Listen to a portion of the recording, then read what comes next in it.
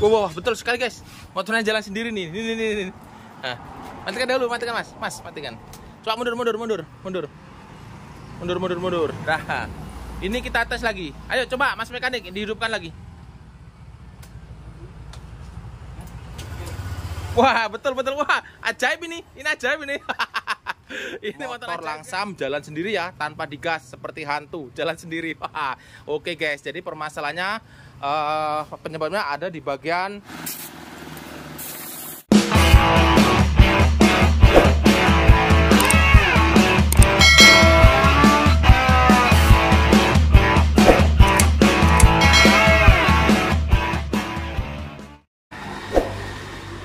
Halo guys, Assalamualaikum warahmatullahi wabarakatuh. Coba kembali teman-teman subscriber semuanya. Di depan saya ini ada motor Honda Vario 150 Jadi motor Honda Vario 150 ini memiliki kendala yaitu uh, kata si konsumen motornya itu ngegas sendiri teman-teman atau berjalan sendiri. Apakah betul? Mari kita coba dahulu guys, seperti apa. Kita tes dahulu guys.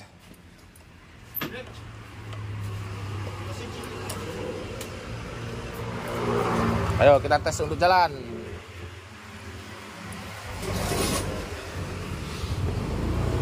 Tes, tes. Wah, nyangkut.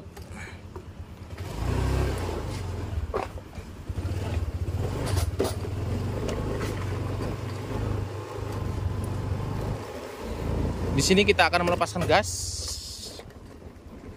Itu tidak gereng-gereng guys ya. Tidak jalan sendiri. Coba kita gas ngebut lagi.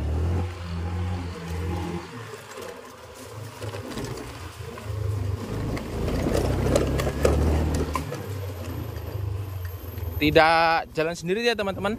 Coba kita masuk lagi ke bengkel. Kita tes lagi di bengkel. Nah, ini kita coba lagi.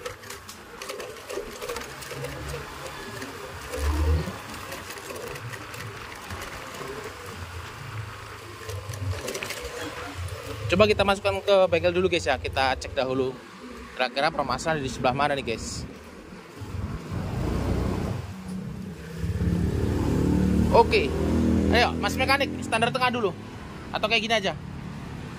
Nah, jangan terus naikin dulu nah. Pegang dulu, Mas. Nah, ini kita lihat dahulu, guys. Kita matikan dahulu, kita hidupin lagi, guys. Wow, wow, betul sekali, guys. Motornya jalan sendiri nih. Ini, ini, ini. Nah, matikan dahulu, matikan, Mas. Mas, matikan. Coba mundur, mundur, mundur, mundur. Mundur, mundur, mundur. Nah, ini kita tes lagi. Ayo, coba Mas mekanik dihidupkan lagi. Wah, betul betul. Wah, ajaib ini. Ini ajaib ini. ini motor ajaib, guys. Wah, coba sekali lagi, sekali lagi, sekali lagi. Sekali matikan dahulu, matikan, matikan, matikan. Matikan dahulu. Nah, coba tes jalan lagi hidupan. Wah, lepas. Wah, motor ajaib, guys. Wah, wih, jalan sendiri nih, guys. Wah, ini pasti ada sesuatu nih, guys.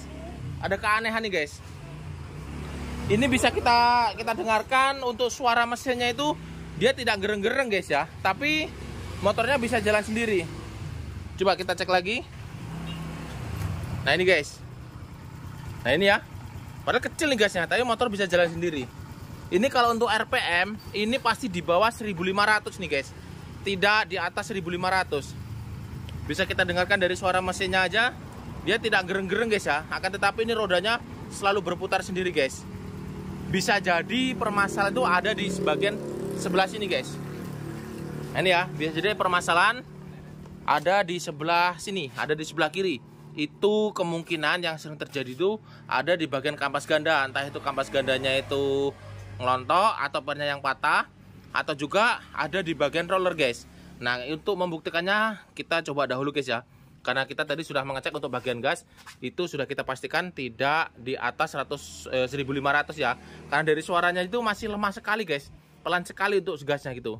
Tidak di atas 1500 akan tetapi motor bisa jalan sendiri. Nah ini motor aneh nih. Untuk membuktikannya kita coba dahulu untuk membuka bengkol. Nah ini kita cek guys. Dan biasanya terjadi permasalahan ada di bagian kapas gada. Apakah betul? Kita coba dahulu guys ya. Kita buka dahulu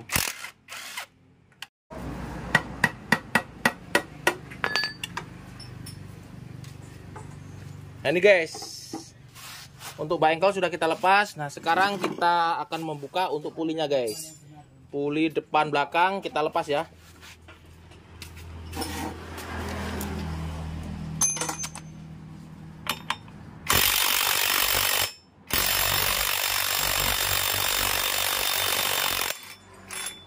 Untuk membuka puli depan itu kuncinya 22 guys ya. Dan kuncinya 19 19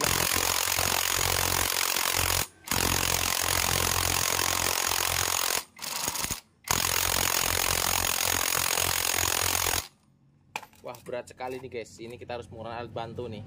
Nggak mampu pakai impact. Wah kita menggunakan alat bantu guys. Karena impactnya nggak mampu nih. Mungkin karena impactnya sudah lemah karena sudah menemani kita selama lima tahun udah itu guys impact itu guys. Oke kita lepas saja untuk rem belakang kemudian kita cabut untuk mangkok gandanya. Kemudian itu yang bagian depan juga kita lepas juga guys ya. Ini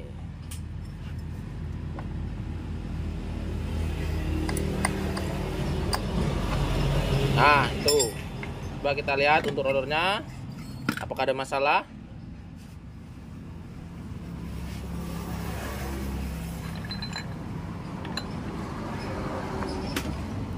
Untuk roller sepertinya tidak ada masalah guys ya.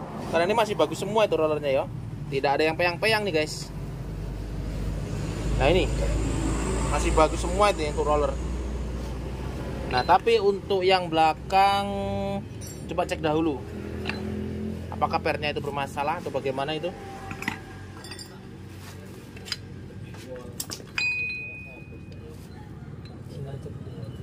Nah ini guys Ini bisa kita lihat untuk roller dia masih bagus ya. Nah ini 1 2 3 4 5 6 6 biji.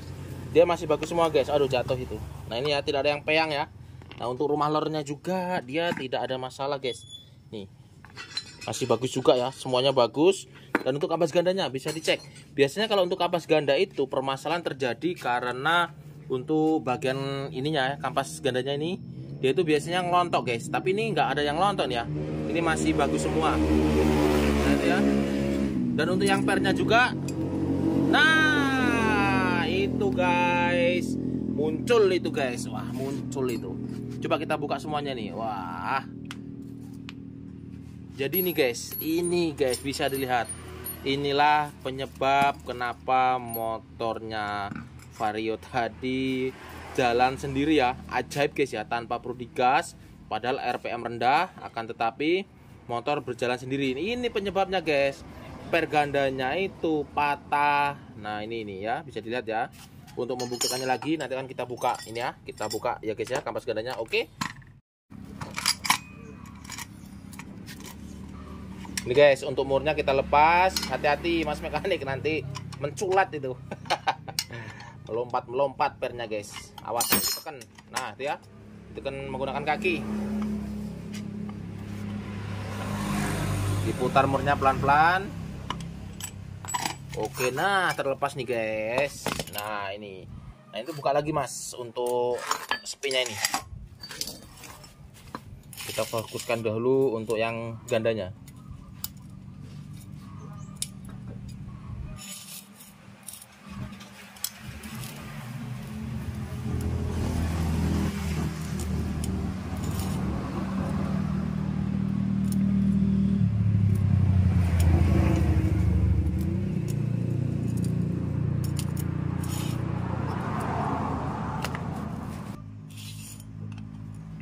Untuk platnya kita lepas dahulu guys. Kita congkel menggunakan obeng min. Nah ini guys. Nah ini bisa kelihatan. Untuk kita membuktikan tadi guys. Bahwasanya di sini pernya ada tiga. Satu, dua, tiga. Nah salah satu dari pernya ini patah atau putus. Nah ini guys. Ini ya. Inilah yang menjadi kendala kenapa tadi motornya bisa jalan sendiri karena kampas eh, karena per kampas gandanya itu patah satu guys oke guys nanti akan kita ganti dengan yang baru dengan per yang baru dan juga untuk bagian kampas gandanya juga. Nanti akan kita ganti yang baru juga guys karena ini udah tipis banget ini. Nah ini ya bisa kalian lihat tuh ya tipis sekali nih guys. Ini nggak tahan lama ini kalau udah seperti ini. Oke guys kita ganti yang baru. Kita lepas dahulu mas mekanik untuk per-pernya ini. Nanti akan kita bersihkan juga guys ya. Nih kita bersihkan semuanya. Kita semprot-semprot menggunakan tekanan angin. Selanjutnya nanti akan kita ganti kampas ganda yang baru dan juga untuk pernya yang baru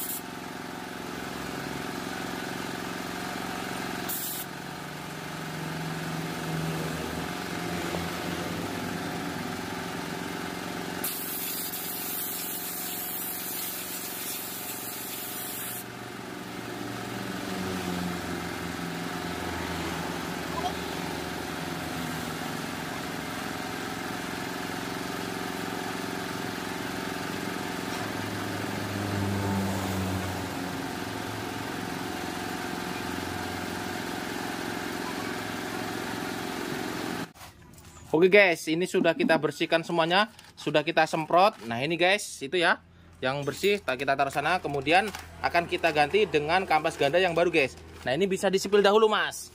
Ini kita menggunakan dengan kode KWN guys, asli AHM nih guys ya. Oke, kita ganti yang baru dahulu guys, untuk kampas gandanya. Nah kita kasih perbandingan antara kampas ganda yang baru dengan kampas ganda yang lama. Bisa kita lihat, oke? Nah ini guys, ini untuk kampas ganda yang baru bisa dilihat tebal sekali. Nah ini untuk kampas ganda yang lama, ya jauh sekali guys, jauh sekali ini perbandingannya. Oke, nah sekarang kita pasang dahulu untuk yang baru.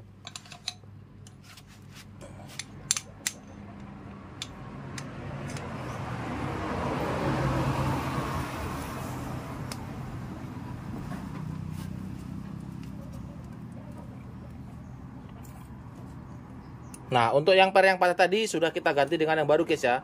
Nah, itu guys, sudah kita ganti dengan yang baru.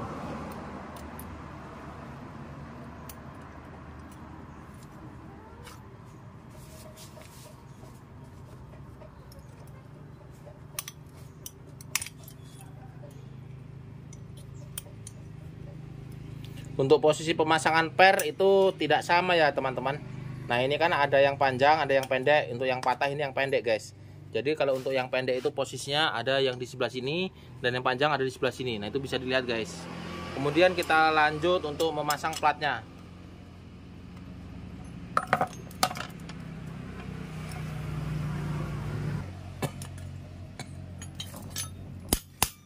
Nah, itu kita pukul dahulu agar platnya agak masuk guys ya, karena untuk memasang sepi.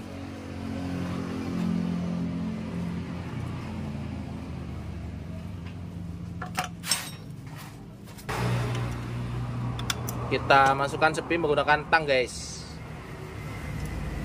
Jadi sepi 3 biji kita pasang semua jangan sampai terlewatkan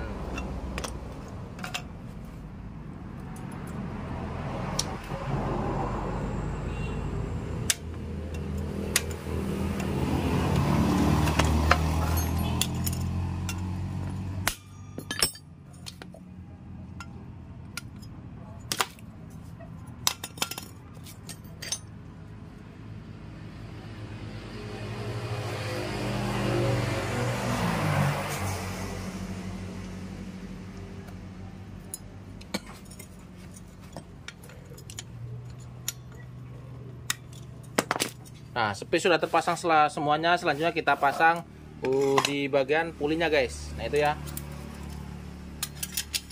Kita tekan menggunakan kaki, guys, agar dia tidak lompat.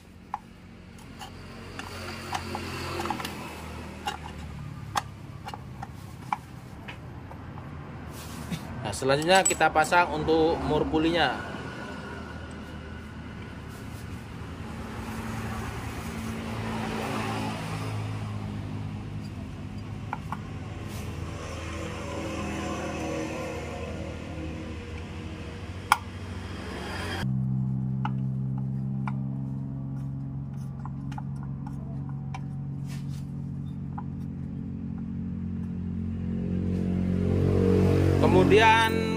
Kencangkan menggunakan kunci gepeng seperti ini guys. Nah ini ya. Ini kuncinya khusus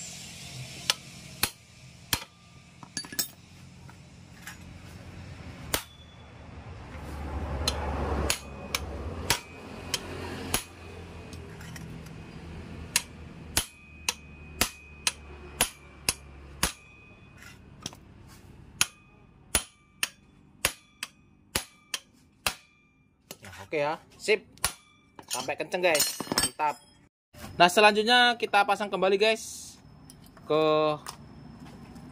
perangkatnya, yaitu untuk bagian puli depan. Itu roller kita pasang kembali guys. Nah saat pemasangan jangan, jangan sampai salah guys ya. Jadi seperti ini guys, cara pemasangannya. Nah ini kan beda antara sebelah sisi satunya dengan satunya lagi. Nah ini guys ya, ini sedikit agak rapat dan ini sedikit agak melebar. Nah seandainya merapat ini dia arahnya seperti ini guys. Nah ini yang saya ulang lagi. Nah ini kan beda. Nah, Jadi seperti ini. Nah jadi untuk yang rapat itu dia berlawanan arah jarum jam.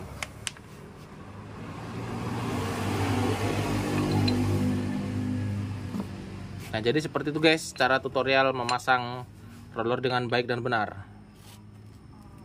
Kemudian kita pasang penutupnya Penutup rumah roller. Nah selanjutnya kita pasang asnya guys. Nah sebelum masang as kita kasih grass CVT dahulu guys ya atau gemuk CVT dahulu. Ini khusus guys gemuknya tidak sembarang tidak boleh meleleh harus tahan panas. Nah itu guys untuk yang bagian askreknya juga kita lumasin menggunakan gemuk CVT nah tujuannya agar dia itu licin guys ya agar dia tidak rusak agar dia tidak cepat oblak untuk rumah rollernya ini guys Nah selanjutnya untuk yang panbelnya juga ini kita cek panbel masih bagus. Ciri-ciri panbel rusak yaitu ada keretakan di bagian sini. Nah ini masih normal guys. Hanya retak-retak sedikit aja, masih normal itu. Lanjut kita pasang. Dan jangan lupa untuk bagian puli depan kipasnya kita pasang kembali. Kemudian ada ringnya dan juga lanjut mur. Mur 22. Nah selanjutnya untuk yang puli belakang itu kita kasih gemuk CPT juga guys. Nah jadi seperti itu guys. Oke ya. Nah oke mantap. Kemudian kita pasang kembali. Sip mantap. Kemudian kita tutup untuk mangkok kapas gadanya. Jadi seperti itu. Jangan lupa untuk ringnya kita pasang kembali. Dan juga untuk murnya yaitu mur 19 Nah jangan lupa kita kencangkan juga ya untuk mur puli belakang dan juga untuk mur puli depannya guys.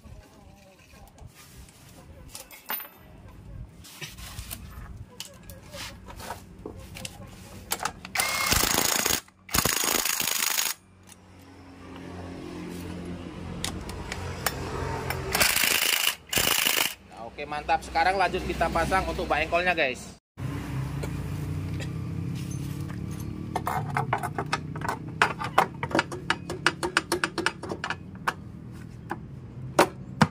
setelah bak engkol terpasang kemudian kita lanjut untuk memasang baut bak engkolnya guys ya baut 8 itu kita pasang semuanya guys jangan sampai terlewatkan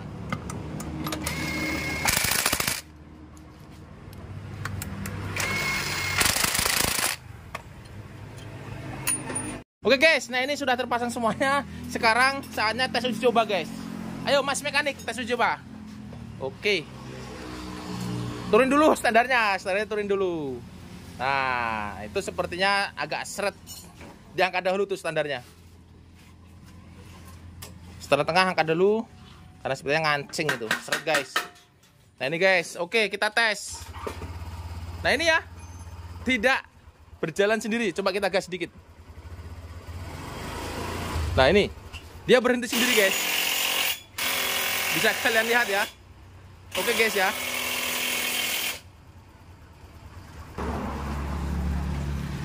Oke guys, mantap guys. Ayo, Mas mekanik gas lagi seperti tadi. Nah, itu ya. Tuh, dia hanya jalan di tempat guys, tidak jalan sendiri seperti tadi yang sangat membahayakan sekali guys. Nah, oke, mantap. Inilah tutorial bagaimana cara mengatasi gas motor di Honda Vario 150. Bukan gas motor guys ya, tapi permasalahan yang ada di motor Honda Vario 150 motor langsam jalan sendiri ya tanpa digas seperti hantu jalan sendiri. Oke guys jadi permasalahannya uh, penyebabnya ada di bagian kiri atau di bagian areal puli guys. Permasalahannya yaitu karena per kampas gadanya itu patah makanya motor berjalan sendiri saat kondisi langsam. Dan juga untuk kampas gadanya karena ini tipis jadi sekalian saya ganti juga guys ya. Nah ini ya bisa kalian lihat tipis sekali. Nah oke guys inilah tadi tutorial cara mengatasinya. Motor Var, Honda Vario 150 berjalan sendiri. Semoga video singkat ini bermanfaat untuk kita semua. Bagi yang sudah menonton video ini jangan lupa support kami dengan cara like, comment, subscribe. Dan jangan lupa juga tekan lambang notifikasinya. Saya Iri wassalamualaikum warahmatullahi wabarakatuh